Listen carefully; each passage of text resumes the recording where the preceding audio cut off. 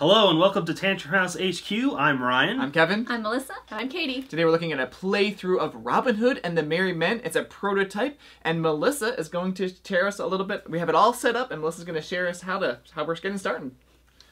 Sorry. yeah, that was terrible. I'm like, Are you speaking English right now? What are you saying? it Final was like Frontier Scots game. something. I'm sorry. I'm slow down. I got everything in my mind. I'm trying to get it out.